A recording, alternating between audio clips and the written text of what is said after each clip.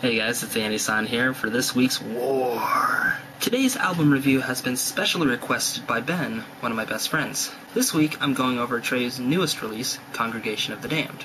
To be honest, I prefer music from the 80s 90s over what's going on today. However, there have been several newer bands and artists that I've been really getting into. Owl City, Orianthi, House the Great, and Atreyu, just to name a few. Atreyu's previous release, Lead Sails Paper Anchors, was a good listen and well received by the critics. Let's find out how this new record stacks up. Here's my personal backstory. I first heard of Atreyu back in late 2007 when I was working at Andy's Roadhouse and I often listened to the local heavy metal slash rock radio station, 98.9 The Bear. Their breakout hit, Become the Bull,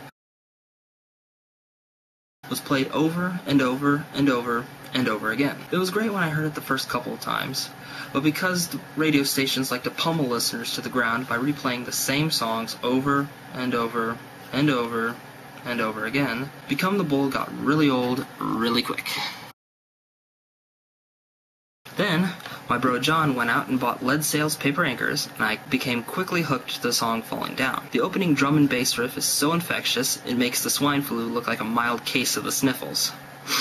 I also found out that Dan Jacobs, one of Atreyu's guitarists, has his own series of guitar instructional videos with Rockhouse. I checked out a couple of the free clips that Rockhouse put out on YouTube, and he's a pretty well schooled guitarist as well as an easygoing teacher. Here's the track breakdown. The first track, Stop Before It's Too Late and We've Destroyed It All, starts the record off strong with a Paul Gilbert approved intro solo and goes into a throaty call to destruction. The next song, Bleeding is a Luxury, continues with the throat screams and makes me think of what a collaboration between Sixx:A.M. and Avenged Sevenfold would sound like. Congregation of the Damned, the title track of the album, gives the throaty shrieks a quick break with some great singing that doesn't sound overdone.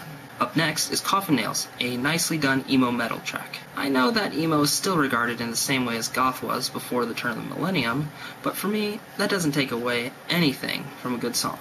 After that, it's Black Days Begin, a Pantera meets Scorpion song that takes the ex- excellent groove from both of these bands and adds a nice modern metal sound to it. Gallows begins with a drum beat straight out of Racer X's Scarified, and the opening guitar line is equally impressive. This has got to be my favorite track out of this album so far. If Gallows is my favorite song on this CD, then the seventh track and the first single off this album, Storm to Pass, is an uncomfortably close second. The first vocal line in the chorus, watching, waiting, is absolutely killer and the guitar work is noteworthy. You Were the King, Now You're Unconscious, the longest song on the album at 5 minutes and 8 seconds, begins with a Slayer endorsed drum then pause drum line. Think Raining Blood. It then goes into a sing a line, scream a line pattern that's characteristic of today's metal that's carried throughout the rest of the song.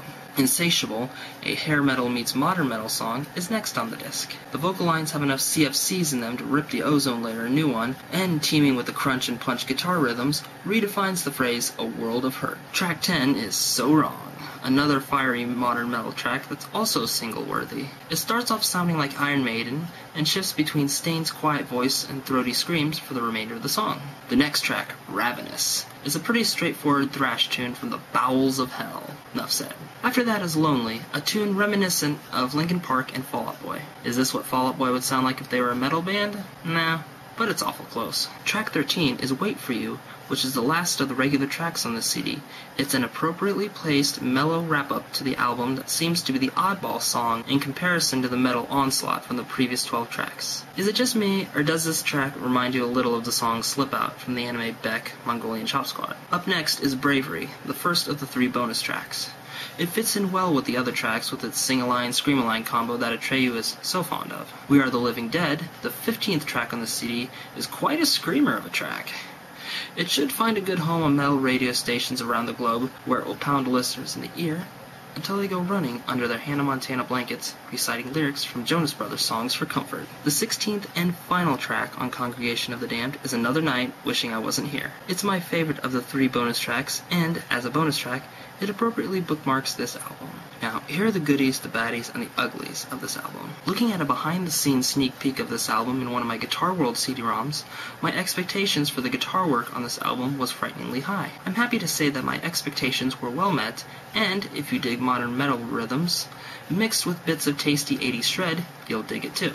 One of the big gripes that I have with Congregation of the Damned is that it has the dreaded from gut to throat with hate screams that are kissing cousins with Cookie Monster vocals and their overuse in today's music. However, I think that Atreyu used them appropriately to accent a song instead of overwhelming it with pig roars, although some songs came close to overdoing it. Another gripe of mine is that a lot of the rhythm tracks seem to be interchangeable with other songs on this album. While some might like this kind of consistency, I however loved the interesting tidbits and then got bored listening to the same stuff played over and over and over and over again.